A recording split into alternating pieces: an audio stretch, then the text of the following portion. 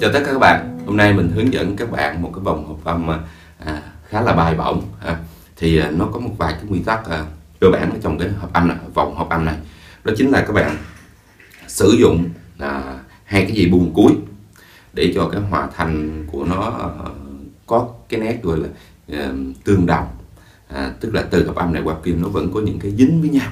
À có những nó dính với nhau ở đây mình sử dụng dây buông ha để tạo cái sự à, mới lạ này thì à, nói chung là trên cái vòng hợp âm này hòa âm này cái hợp âm chính của nó là mi trưởng. Còn những hợp âm khác thì à, bây giờ các bạn cứ tập đi. Các bạn à, à, đừng có quan tâm lắm đến cái việc nó tên gì thì tên nó khá phức tạp ha. À, à, đầu tiên chúng ta sẽ nói về thế bấm mi trưởng. Thì chắc các bạn cũng biết mi thứ thì chúng ta bấm hai ngón này. Mi trưởng thì chúng ta thêm ngay ngăn một của dây son nữa. Đó. Thế bấm như thế này thôi.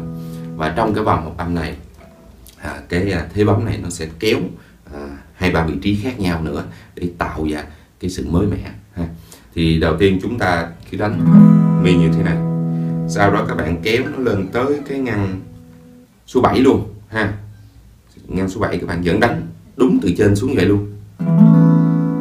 Ồ oh, nghe rất lạ và hay đúng không? Thì thực ra các bạn nghe ngăn số 2 nè. Các bạn kéo lên tới ngăn số 7 ha à nghe nó rất lạ. Sau từ ngay ngăn số 7 này rồi? Bạn kéo đến ngăn số 9 wow nghe rất bài bổng đúng không? Thì ở đây các bạn thấy là chúng ta có những cái nốt lặp lại đó chính là nốt mi này nốt si và nốt mi. À tức là lặp lại. À, từ cái âm cái bạn kéo nó lặp lại các nốt như vậy. Chỉ thay đổi những cái nốt à, khác tí xíu thôi nó tạo ra sự mới mẻ nha.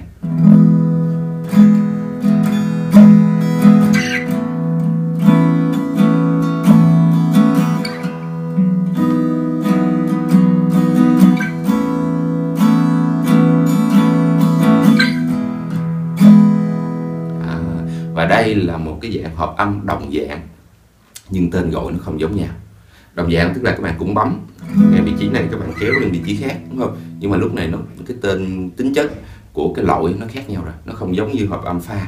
Ví dụ pha trưởng các bạn bấm như thế này. Các bạn kéo lên tới đây là son trưởng kéo đây là la trưởng tính chất trưởng nó không thay đổi ha. Cái này đồng dạng nhưng mà chúng ta tính chất nó khác thì à nó rất là hay ha. Thì để à, cái vòng âm này để cho nó lạ thêm một tí thì mình thêm hai hợp âm khác. Ví dụ như hợp âm thứ nhất là la à, ách hai tức là la trưởng. Các bạn bỏ cái nốt đô thăng đây thành nốt si. Thì nó là áp 2 à, thêm vô nốt bậc 2 các bạn. Và tiếp theo đó chính là hợp âm là hợp âm gì các bạn? À, là ờ, đô thăng thứ bảy. À đô thăng thứ bảy nha. Tức là các bạn cũng hai nốt dưới hai dây dưới các bạn không bấm bấm nghe đô thẳng, son thẳng đô thẳng,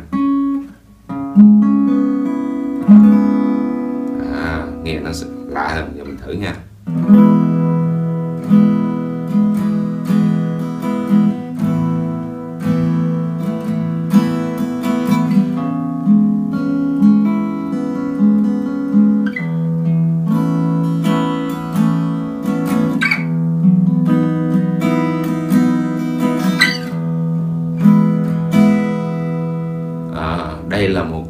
Cái vòng rất là lạ tai và nó hay.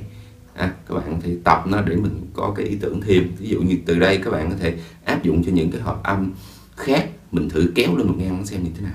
Rồi các bạn thấy mình hay demo mình hay đánh hợp âm đồ trưởng. Sau đó mình kéo lên tới ngang năm wow lạ không các bạn? À, thực ra nó là hợp âm C sụt thôi các bạn.